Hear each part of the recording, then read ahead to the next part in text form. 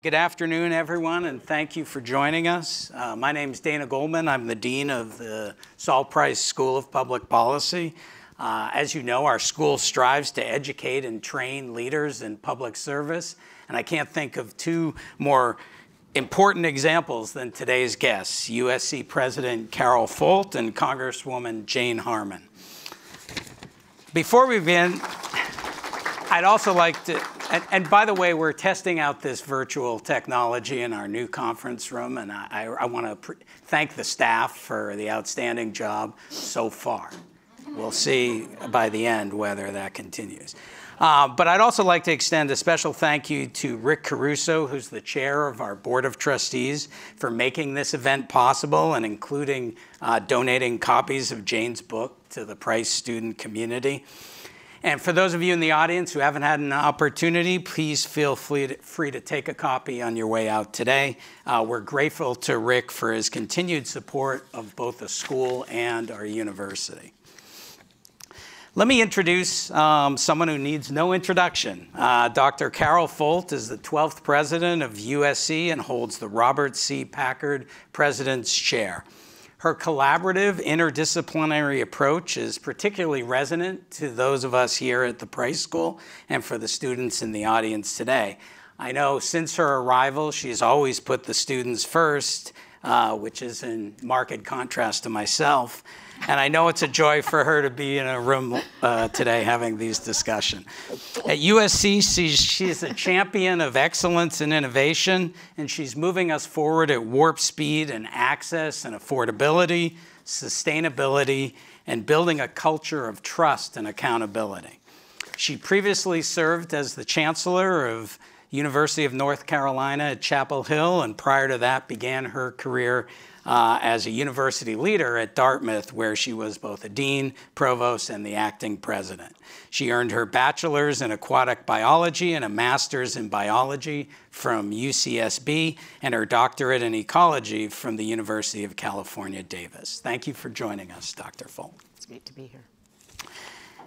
And joining us remotely uh, is our guest of honor, the Honorable Jane Harman. Uh, for those of you who don't know, she's the former U.S. representative for California's 36th congressional district, and she served from 1993 to 1999, and again from 2001 to 2011.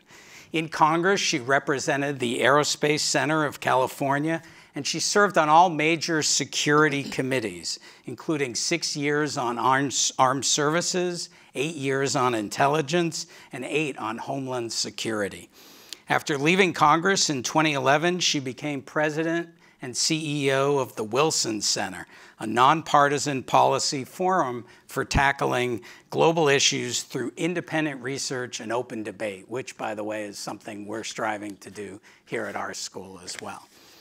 Thanks to her long career in public service, Congresswoman Harman has been recognized as a national expert at the nexus of security and public policy. And in her new book, which we're going to discuss today, entitled Insanity Defense Why Our Failure to Confront Hard National Security Problems Makes Us Less Safe. It investigates three decades of national security mistakes and successes, and uh, as we'll learn today, gives us some recommendations for the future. Thank you for joining us, Congresswoman, and congratulations on your wonderful book. Can you hear me, by the way? Yes, I can. Excellent. Well, then, I want to get started right away by, you know, in your book, you tell a, a, harrowing story, in my view. It spans four presidential administrations, and it chronicles our successes, as I noted, but also our national security failures. And I think, you know, as we're exiting the war in Afghanistan, this is a frequent example in your book. Um, the former uh, special envoy for Afghanistan and Pakistan, James Dobbins, and also former ambassador, uh, has talked a lot about the post Cold War era as well. And in a theme that echoes in your book, he observed that nation building has become an international growth industry. and perhaps, co contrary to popular impression, this has been successful. The world overall has become a less violent place over time, although the Middle East is a notable exception. In, in your book, you attribute this success to something you call the tools of soft power, which are often underfunded in favor of military force. I wonder if you could give us a perspective on that uh, at the outset. Well, I'd be delighted to as soon as I say hello to the USC community. Um, you left out a really important fact in the intro, which is that I'm a USC mom. My son, Dan, uh, graduated in 2004, and my late husband, Sidney Harman, was a university professor uh, for a time, and his name is on the door, so far as I know, of the Sidney Harman Academy for Polymathic Study. And uh, I have great affection for the place. And let me add two more things about USC, in addition to um, something I want to say about both of you. One, uh, in the 90s, when I was first in Congress, my immediate neighbor in Marina Del Rey was Rick Caruso. That is before he was the chairman of the board, and we have been friends for a very long time. And he has done a wonderful job, in my view, as chairman of the board. And I, I can't thank you enough, Rick, if you're listening in, uh, for buying so many copies of my book. Very, very helpful. Thank you, thank you, thank you. Uh, and um, the other point I'd like to make is that we all have mentors in life. And uh, it's especially important for women uh, of a certain age. Of course, that wouldn't include me, that must be my great grandmother, uh, who uh, got our start in politics when there weren't a lot of women around. Well, my first mentor, my first mentor was a Trojan, and her name is Roz Wyman. Uh, she was called Roz Wiener when she graduated USC. And immediately after graduating, I have no idea what year that was, uh, she ran for, for LA City Council and was elected, the first woman elected to City Council. I was a kid. I truly was a very young kid. But there she was, the first woman elected, and she's still going strong in her 90s. And so, guess what? USC is really uh, has really touched me, and now it has a superb president, Carol Folt and I'm so happy to get to know you. And uh, and Dana, uh, you too, my friend. I mean, the Price School is a very important part of the school, and obviously, public policy is my passion. So now I'll answer your question about soft power. I didn't forget it. I didn't forget it. Uh, uh, soft Joe Nye, who is a professor at Harvard uh, and has had a, a number of senior jobs, has coined the terms soft power and hard power. It should be obvious Hard power is military power, soft power is everything else. And most military types would tell you war needs to be the last resort. We need to try everything else first. Uh, it's like Winston Churchill's uh, definition of democracy. It's it's what you do when everything else has failed.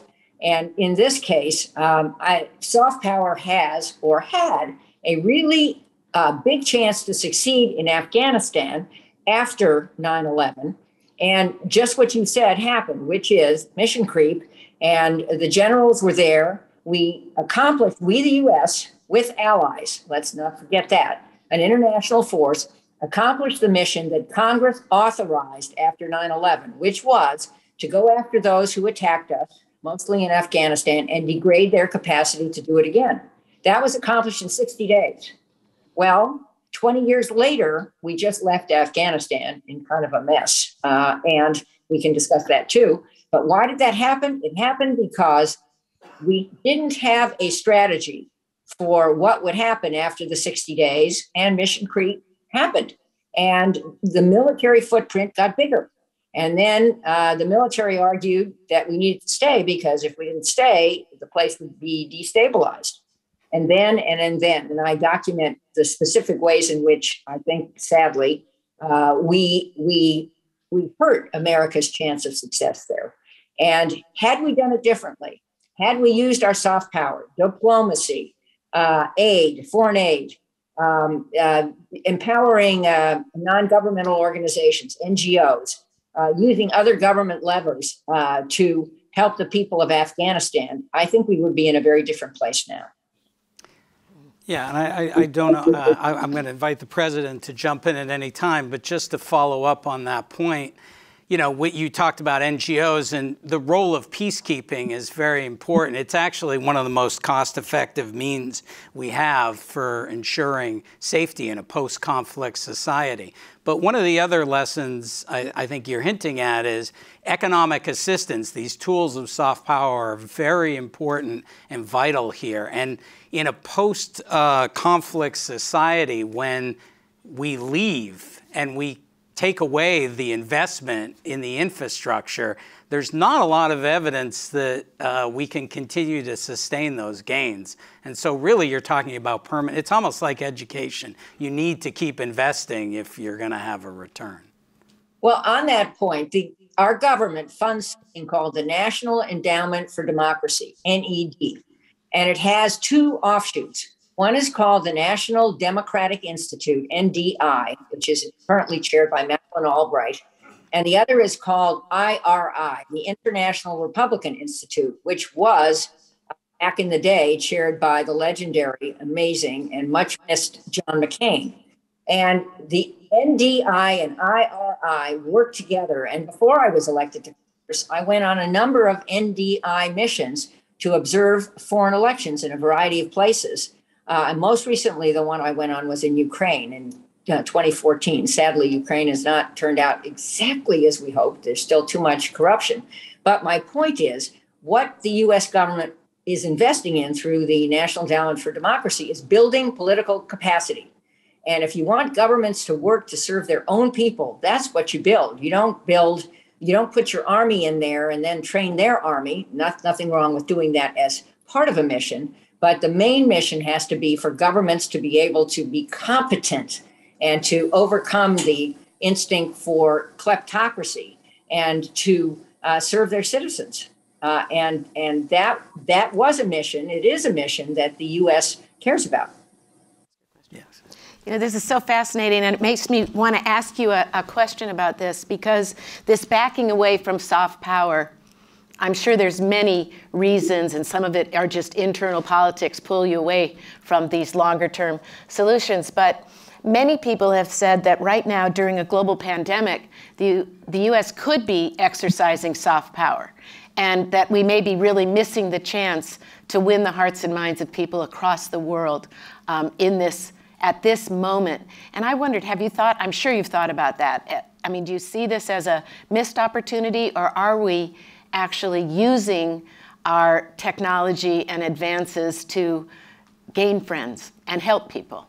Well, that's a great example, Carol. And I would say we, we've had a slow start. It's not like we don't care, but we're great at logistics. Uh, we know how to do this in our sleep.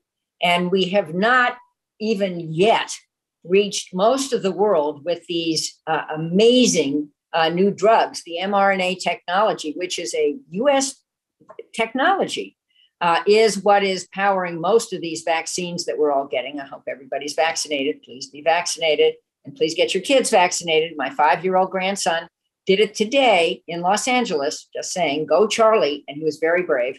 But my point is that getting those vaccines into arms around the world is something we are good at. There's been some issue about uh, whether we're going to require these firms uh, to either share their manufacturing secrets. I'm not sure that's a good idea, but certainly push out more manufacturing to the third world. We have to do that.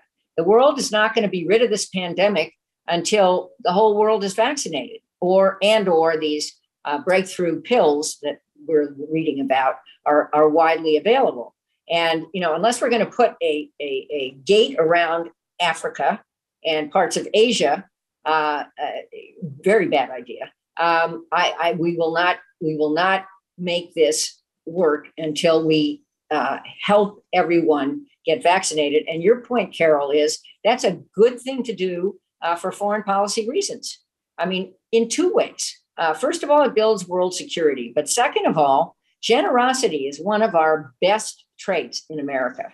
And everybody wants to come here uh, it's it's not like we've had a really well functioning government lately, but they want to come to America because our generosity and the opportunity that uh, they can get by going to USC, pick, pick a school, USC, and and by uh, getting the the the, the uh, jobs that many from foreign countries are qualified to get uh, is is singular. It's not available anywhere else in the world. So if we want to build a better world and a better U.S. economy and a more secure world, uh, that's what we need to do: is show our generosity and show our our enormous skill at, at dealing with something as vicious as this pandemic.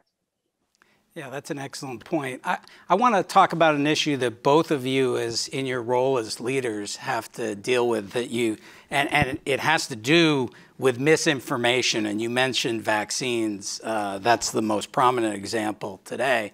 Um, but one of the things you talked about um, was after 9/11, uh, Congresswoman a lot of we knew that the war in Afghanistan was important because that was the base for Al Qaeda. But then we also had the war in Iraq, and we learned later that uh, our policy advisors were getting poor quality information. And I think uh, President Folt, you're dealing with issues of misinformation now of a different sort, which is, you know, uh, uh, innuendo and stories that may or may not be true that are uh, going around the university and more broadly uh, about the campus. And I'd like to ask both of you, and maybe I'll start with you, President Folt. Oh, thanks. I think I think really. We'll start with Jane. no, no, I'm kidding. I but uh, how do we deal with um, how do we how do we deal with this when in leadership positions? So asking me about misinformation and you know, I think we all know misinformation is a rising threat, whether it's here, whether it's what you're reading, uh, whether it's being generated by the algorithm of the social media that you look at. I mean, I think we have serious problems with the way we get information, the way we limit the information we get, the way you don't see opposing viewpoints, all of that are major issues that we face. And some of them we're just bystanders to a media that produces it for us. So we've got lots of issues there. And I think a lot about misinformation. Some of it comes from what is it they call it, the too long don't read culture. But it's a serious one that I say to everybody because, I mean, I'm living in that right now. I'm sure you've all done it. Any of you in a student organization, anyone in a classroom, a, a faculty member, we produce so much information and people don't read it or if they read it, they forget it. So we all have to learn better ways to communicate, have many different ways in which we do it. And I think we have to be patient and realize if it's not read, that doesn't mean you stop doing it. I think one of the errors we make is to not stand up against misinformation. I think it's our responsibility to seek truth, and no place better than a university I don't think we're that good at holding each other responsible for paying attention to truth. And I've started to see things I'm not saying here, but major moves across the country where people are saying, no facts, just acts. Don't, no fact, just act. That is terrifying to me. It's sort of antithetical to all I believe, even though I completely understand the idea that people want to stop talking and they want to start acting. But the idea that you throw out facts, and I get said this a lot, I'm sick of hearing facts. Well, we can't be sick of hearing facts. In fact, we want to engage everyone in the creation of facts and the true understanding that not all facts are interpreted in the same way. So there's a lot of room for discussion of facts and really probing them, learning how to debate, learning how to really, you know, what is science? I'm a scientist. Science is always advancing by getting rid of things that were previously thought facts. So no fact is immutable. Well, maybe there are a few of them.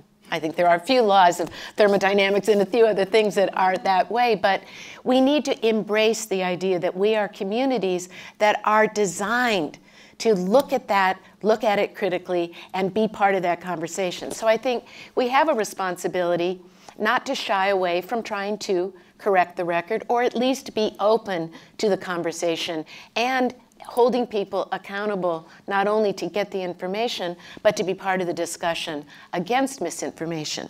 But I think that um, it plays out in a lot of ways, and one I want to say that's just very personal is I've been working on climate change for many years. I was part of the first uh, climate change symposium in America in the early 1990s. And I went back and I read the first article that I was a part, a co-author with many people on, I think it came out in about 1994. And we'd done, a, I'm pretty proud of that now in hindsight, uh, looked at that, we'd used the simple models, long story, but we basically had made a series of predictions. And what we said was that summer warming, nighttime warming, we had some very clear patterns, and heat waves were going to be the source of the greatest destruction. Second to that would come subsequent effects on flooding, you know, all this stuff. We were right. That is exactly what's been shown. And 25 years later, why did so many, why were we unable to move the needle? Why were we willing to sort of let these things get thrown out over and over again for reasons that had nothing to do with the facts or the data or the long term impact? And I think scientists working on climate change, policy members, humanists working on climate change often are asking themselves that now the youthful generation that is coming in with a sense of urgency and anger maybe will be the next impetus to say we can't just stand still when you see something that important, when you've been working on it for years, you have to fight back. And some of that is fighting back against misinformation or illogical, flawed debate. And so, you know, I'm still always optimistic because I look out at rooms like this and I think, well, that's where the change has to come. But it, we don't get it looking at Congress right now. So that I think is also difficult because we think policies made there. So we have to start thinking about the policies we can make where we live and then get those right and continue to contribute broadly. So yes. thank you. It's a really important issue. Yes. Jane? Well, I agree with every word of that. I absolutely do. I also think that universities are the place that has to get it right. Uh, it's it's a little dicey apparently now with angry parents in in in secondary schools, but a university like USC has the right values and the right opportunity uh, to make sure that all viewpoints are heard and respected and communicated in a civil way. Uh, it also, I hope, makes up for the huge deficit that young people have understanding civics. I mean, that used to be taught in uh, secondary school. I remember my government teacher at Uni High in West Los Angeles. Yes, I grew up in LA, uh, who was a fantastic uh, role model for me. not as big as Roz Wyman, but but big and who taught me things that I use and understand to this day. And we seem to have lost that. And I'm old enough to remember Walter Cronkite. He, you know, for most people, probably was some dinosaur of another century, but he used to be on one of the evening broadcasts. And when it was over, in half an hour, he said, and that's the way it is. there was an authoritative figure who tried, at least, I'm sure he got some things wrong because we're all fallible, to get it right, to tell the news straight. And now, you know, where is Walter Cronkite's great grandson or great granddaughter, better yet? Uh, I don't know. Maybe she's Carol Folt. Uh, let's hope so. But but so back to Iraq. Well, now you're thanks a lot, Dana. I really appreciate that question. Mm-hmm. Um, don't throw tomatoes yet. Let me explain.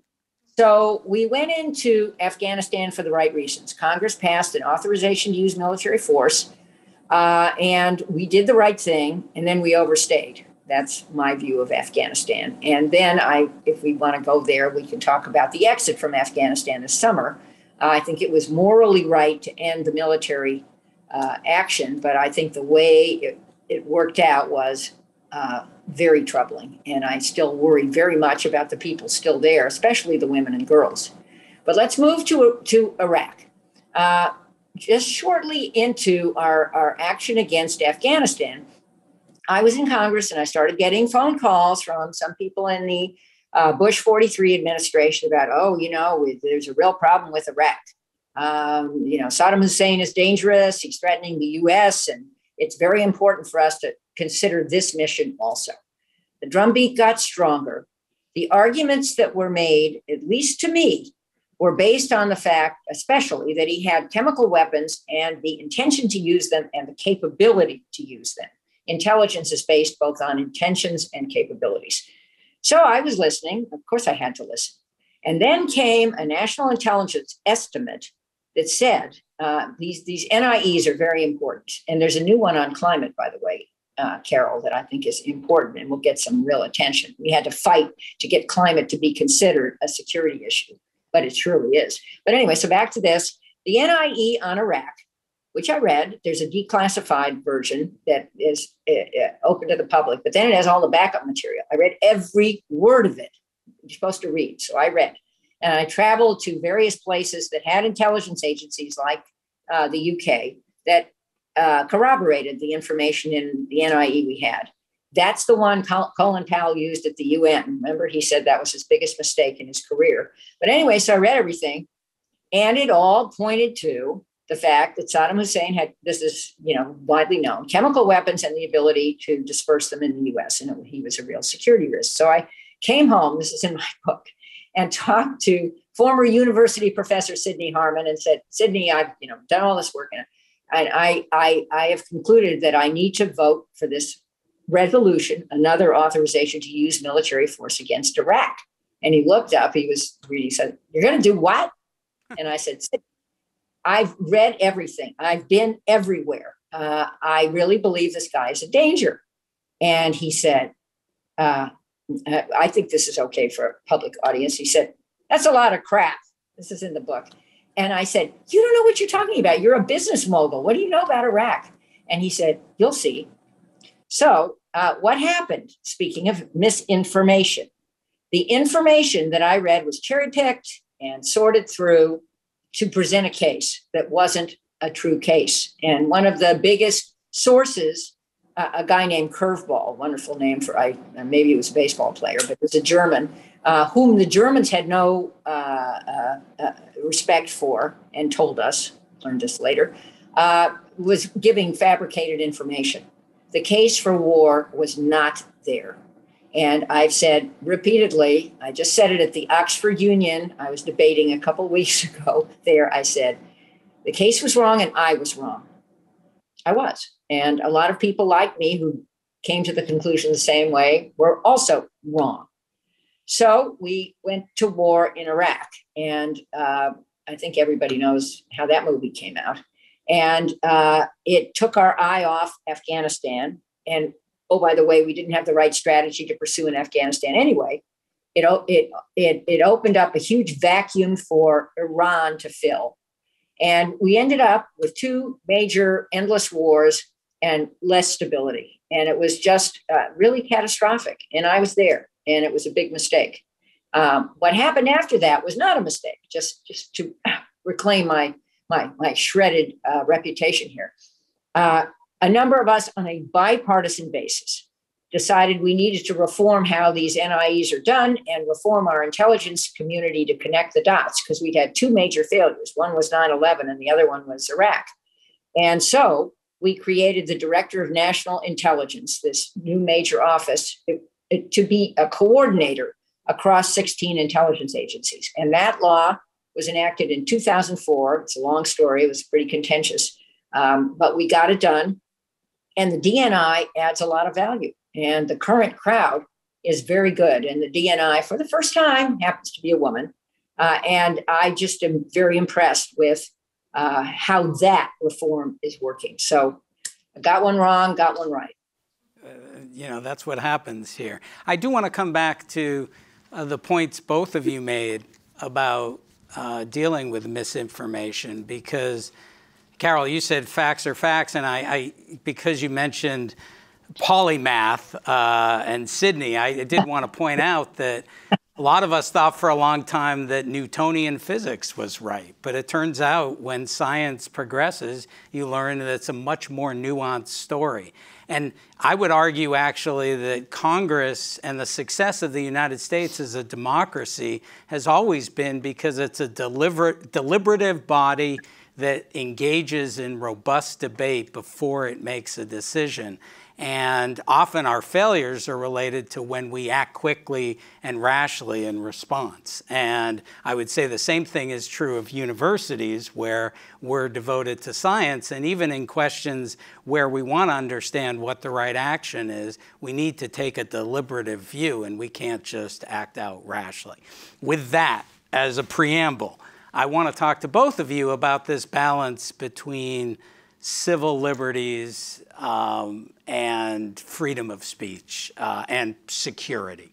And, you know, this comes up in the context of 9 11 as well, because we didn't know if there were going to be more terrorist attacks, and we quickly passed laws that changed the nature of information. We had memos coming out about uh, engaging, uh, it, it turns out, potentially violating the Geneva Convention to extract information from combatants who may or may not have been uh, prisoners of war, depending on your legal view.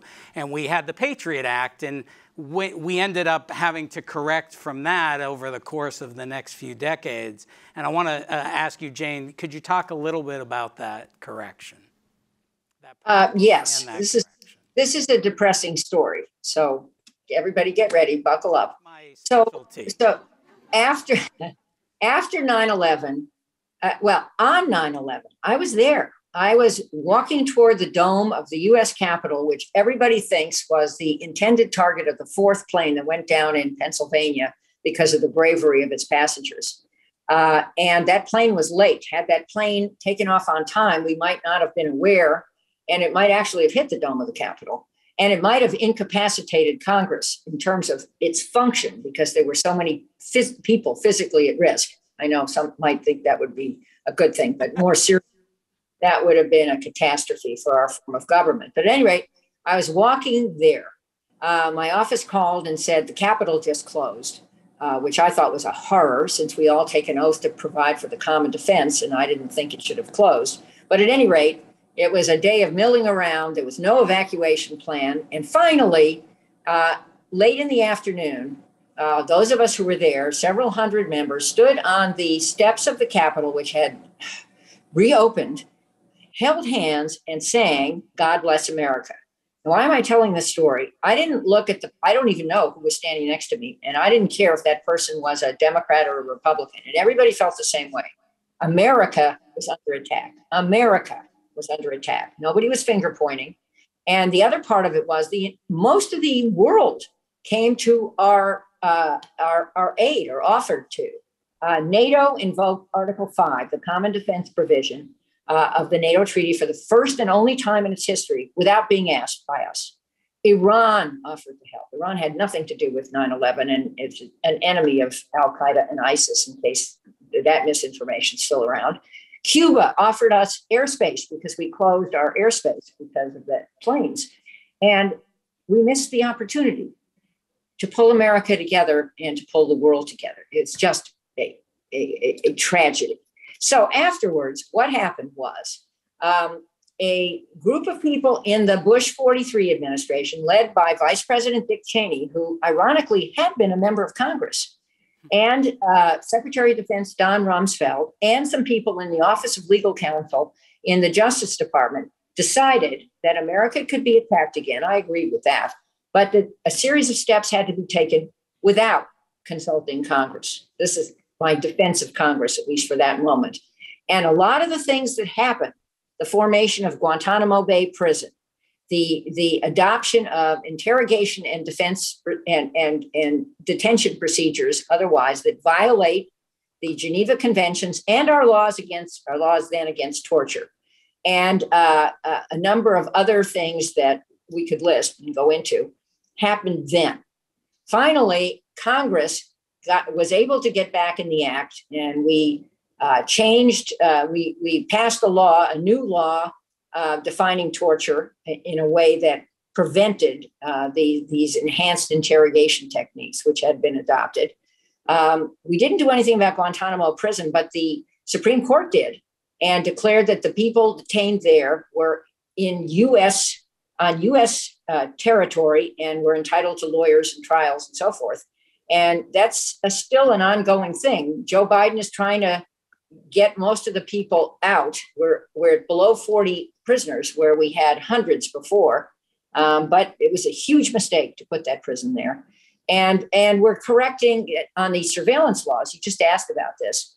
Uh, Congress got back in the act, amended the Foreign Intelligence Surveillance Act, and tried and has tried to uh, curtail, um, you know, rogue surveillance practices, which were happening.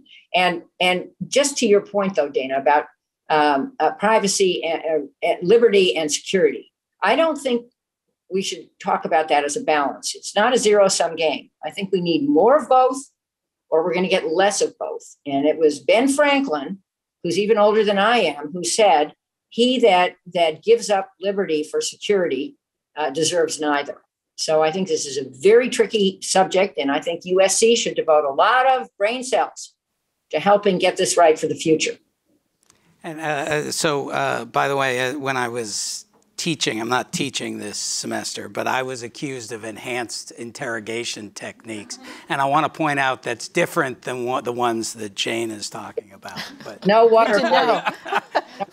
um, but you face this, uh, President Folt, on campus, where you have to balance freedom of speech against security and uh, how do can you talk a little bit about how you make these trade-offs? Yeah, I think it's a more complicated um, than a simple balancing against. I think you you don't have to give up one to have the other, or you can't really give up one to have the other. You have to do both. But I do want to make one correction. I, I was saying facts are facts, but they also are subject to debate because facts change. I mean, that's exactly what I think a university needs to do. Um, as, and we need to create those forums, which this is, you're all a part of it. And there's so many places at SC where you can do that. So maybe we'll come back and talk about that in a bit. You know, I do think um, universities need to hold to free speech. We need to be the supporters of that. We need to live it. And I think the lack of civics education has been something that has really started to have an effect on people.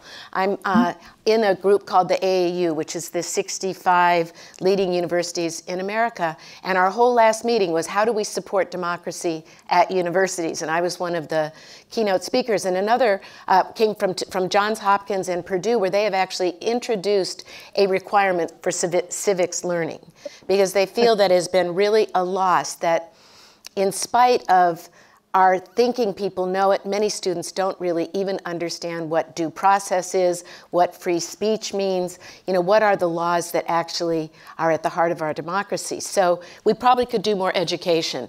And I think that is where Education's supposed to be our sweet spot. So let's keep going back to the idea that when we have things like free speech, we talk about it with its legal limits, but we don't focus on that as a legalistic thing. We think about the ideal that it represents. We work with people about what would it mean? You know, we've looked down the road at various societies when freedom of speech has been taken away, when due process doesn't exist, and it is very ugly. It is not a future we want. So, how do we instead turn that conversation to help people really understand it, help build it, and work on a community where free speech and belonging and safety can coexist? You know, and I think that's what we need to do. We need to do it better. We need to know that some aspects of free speech get very much in the disruption of people's lives.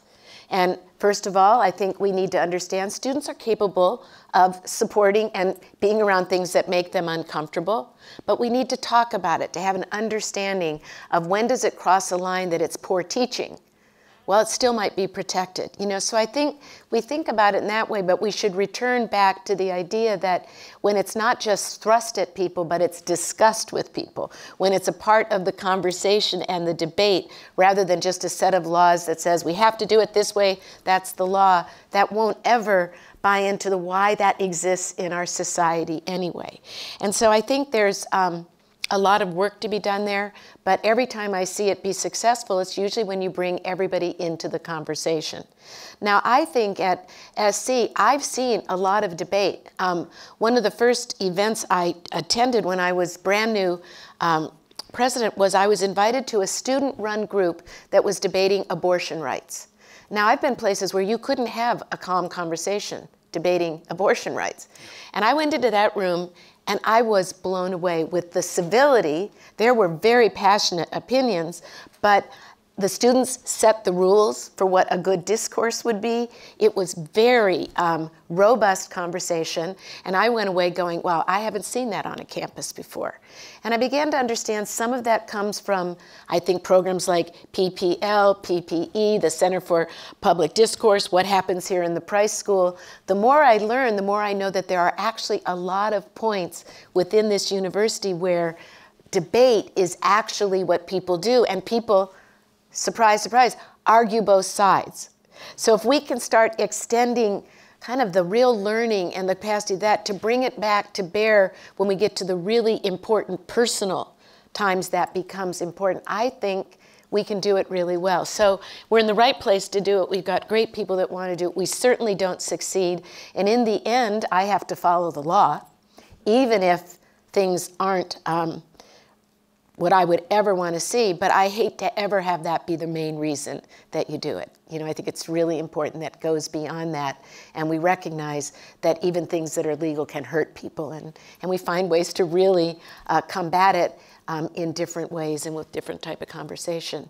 So again, I, we have a great, we should be the place people test that and learn it and challenge it because it gets a lot harder when you're no longer at a university, and it is contested space, but it's a lot better here than other places I've seen to the extent that people mostly seem willing to get into those debates. And so that always gives me uh, a real sense of hope and, and confidence that we can improve it here.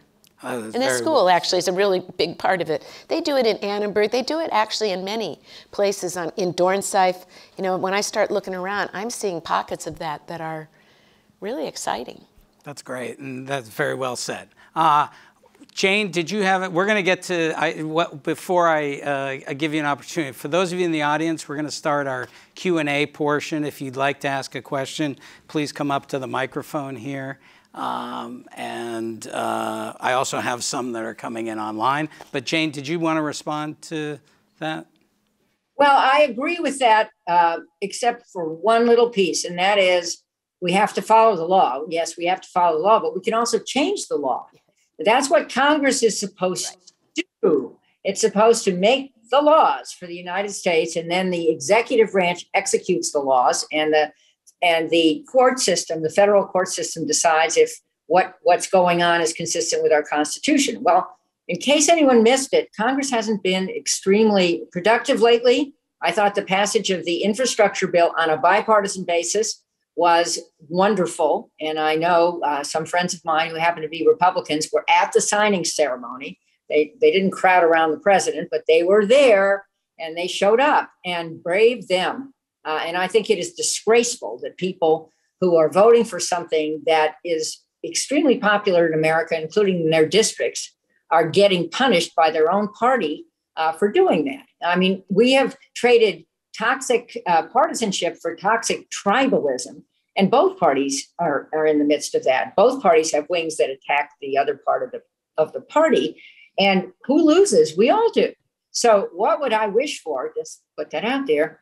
Is that um, the, this generation of USC students like Roz Wyman get into politics, either party, and be there for a reason to put the country first. And if you actually do that and you realize that none of us has a monopoly on wisdom and that the hard problems require us to come together and wrestle with the hardest problems, uh, then guess what? We can make better laws. And then Carol will say, I'm happy to follow the law because it's such a good law. Oh, Jane, one quick thing I want to say, because I love that you said that. My speech, my part of that AAU conversation was not what I talked about. I talked all about getting out the vote. And I actually had brought forward a lot of examples of the Price uh, group that is all focused on getting out the vote. And I talked about being and running for government and getting involved at local politics and state levels mm-hmm. because mm-hmm. most universities go right out to federal level, but we have so much that we can do at the local and at the state level. So you'd be happy. I was actually talking about that too and, and some of those here because I think I would, you're so right. I, I would be happy because I think the local state levels are less partisan, at least at the moment. I don't mean they're not partisan than Congress is. And a lot more can happen at the, at the local level. And you mentioned climate. A lot of good stuff is happening at the local and state level, even if it's not happening or not happening uh, enough at the federal or international level. Let's remember we just concluded COP26, this international climate conference. And I'm I'm a bit disappointed. We didn't set hard goals for the world and we don't have enforcement standards. I mean, it was better that more countries recognized the problem, uh, but it is there's a long way to go. Okay, I'd like to get to some of the questions from the audience. Um, I'll start with a question from Amy Ross. Um, Congressman Harman, uh, in your book, you talk about the proposed initiative in early 2001 to establish an, a Los Angeles based counterterrorism center. Um, mm-hmm. Given the geopolitical climate today, do you think that is an idea that should be revisited? And I should point out that Adam Rose, a former director of CREATE, is here, and is, we've done a lot of work on this uh, here at yeah. USC. Well, I mentioned CREATE. CREATE is a Homeland Security Center of Excellence based where? At USC. And uh, we had to uh, remember on 9 11, there was a massive intelligence failure, and part of the failure was connecting the dots. And there literally was information in the FBI that some of the, the what turned out to be the hijackers were living with an FBI informant in San Diego. This is going to make you break out in hives. And somehow that information never got to anybody. Uh, shame on us all. So there's been a major effort to do horizontal information sharing across the federal government, but also vertical information sharing from the national government to the state and local governments. And that's what this counterterrorism idea, center idea is. And a lot of progress has been made in LA uh, uh, about it. And, you know, LAX was once the intended target of, an, of a terrorist attack. Let's not forget that. The ports of LA and Long Beach are the largest container ports in America and if they could only unload the cargo, oops, that's that's a different problem. Um, some of that cargo could potentially be very dangerous.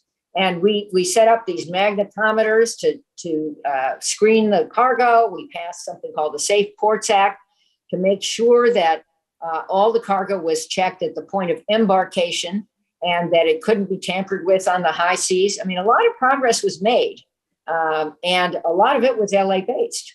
Mm-hmm. Maybe because LA uh, certainly has a lot of uh, uh, very productive members of Congress. Just, well, it doesn't make. I mean, you're, you're you're absolutely right, and it doesn't make headlines when there isn't a terrorist attack in right. Los Angeles. But the fact that we've been safe for so long, you know, there, there's a lot of credit that needs to be shared, and I think you and the people who work in that center deserve uh, certainly some of it. Um, one of the question, another question from Randall Uchiyama is, and this gets to this point about civics that you were making, uh, President Folt. Do you have a sense that, do you think a stronger sense of civic duty would have made a difference with regard to vaccination policy? And I think it also means uh, willingness to engage in getting vaccinated. I do. I mean, I think we lost, surprisingly lost the entire aspect of public health and what does a society do to protect public health in all of this because it went down other roads, became extremely politicized. And so the effectiveness of the vaccine, the true miracle, actually, that was the production, the production of those vaccines, the miracle that came from 30 years of U.S. policy to do basic research, all of that got lost. But I think also got lost even the civics that led to things like the polio vaccine and all sorts of other vaccines that people were taking and for years were really increasing the health of the country. So I think, yes, had we had a different start to the conversation, and a different sense about why this was being done, and maybe a different sense about how it was implemented. I'm not saying that wasn't a bit clutch fisted too. I think you could have had a very different outcome. Well, I think one of the things we did right here at USC is if you look at the signage, it was a, not about protecting, it was about protecting the community. Yep. That's why we wash our hands. It's not just to protect ourselves, it's to protect others. And the notion that somehow that is violating someone's personal liberty has really skewed this whole perspective. I mean, uh, you know, we, we do a lot of things uh, for the benefit of others. So. Well, like a lot of a lot of laws about air and water and all of these things come back to similar mm-hmm. sorts of arguments. But I want to say the signage was designed by USC students yeah. At Ivy. I'm just going to say that beautiful, wonderful message and signage came from students. It's usually a good place to to start. That's exactly right.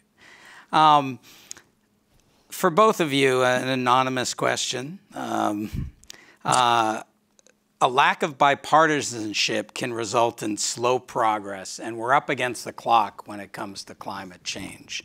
What can we do to push it through without violating our democratic principles? Uh, Jane, maybe we'll start with you because this is a theme in your book more generally. Well, my, my last chapter is entitled The Incredible Shrinking Congress. And I despair about the toxic tribalism in Congress and in the country.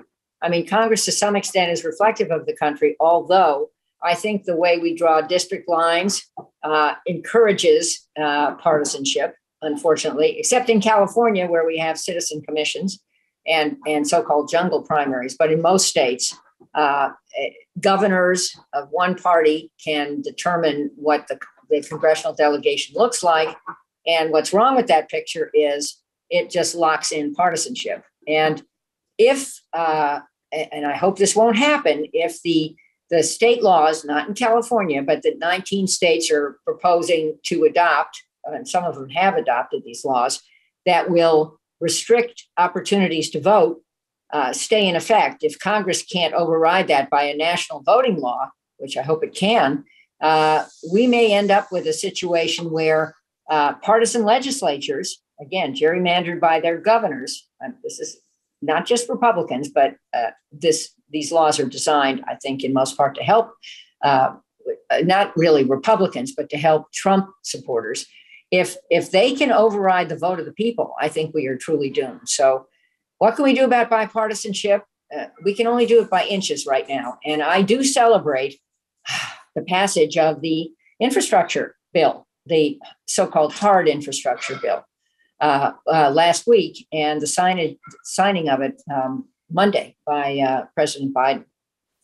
Excellent. Uh, anything to add? Yeah, no, I'd love to answer that one a little bit about. I'm going to talk about it with respect to climate change and sustainability because mm-hmm. I think you know, I think we could all say that we're disappointed where COP26 went, and we could also say there was amazing stuff that came out of it. Some of the most amazing were the things that people said, the voices that were being heard for the first time. You know, you've got to find the, the good along with that. But I think we have a very, we can start, you can always start working locally. So within a university, we can do every single thing. We can walk the walk. If we walk the walk, we start having a big influence just on the way we manage our own environment, our own operations. If we walk the walk and we make it our job then to walk the walk with our community, use our resources to get out into our neighborhoods and work with them. We start having a very fast and a very large uh, immediate effect. I looked up this number. There are actually 5,300 universities in America. And they live in all those communities. If every one of them started taking actual actions that really did reduce our carbon footprint, created better transportation, gave incentives to people to do things in a different way, that we think actually could be pretty well uh, accepted because they would improve the quality of life and air, we have a big impact. There's 20 million students at universities in America. If every one of those students knew just one more thing about sustainable environment, had just one way that what they did could have an influence, you suddenly have 40 million people working on it. And pretty soon it's 160 million. So where we can act locally, we can actually have an outside impact. So I think when you have that kind of fragmentation, you just have to find a different way to do it. And for us, you do these other things too, vote, you get out, you're activists, but you can do so much right here. And I've begun to see the real power of that here. Um, just in the recent couple of years since we have our amazing President's Task Force on Sustainability, and Dan Mazmanian is here, who's been just helping lead that with our students and our faculty, we've made amazing changes here. And I think we're going to get to the point, I'm just going to say it, where we're going to be able to say that we'll be carbon neutral with respect to electricity by 2025. We already wow. got the divestment out of the um, the endowment, we have massive changes in operations and the greening of the buildings. I mean, these start having a pretty big influence, especially in the community, because we're already out working to bring water, clean water, clean shade, and low waste into the local neighborhoods. So, you know, I just think you can't get too depressed by the bipartisanship because you realize in this particular case, one person can easily become four people and you start building an army of people working towards sustainability. And so that's where I go away from just pulling my hair at things that might not happen at the federal level yet and think, well, we can sure do it here. And uh, I think that's that's a way to go. It, I would just add, I have solar panels on my roof in my house in, on Venice Beach. I drive an electric car and I recycle. That's not enough, There we but go. it, And At least it's I- something. I think with that, we'll leave it there. I want to thank you both, uh, President Fulton, Congresswoman Harman, and thank you all for coming, and there Thanks are lunches outside. Thanks, everybody. Thank you, Jane. Thank you, Jane. Great to see you.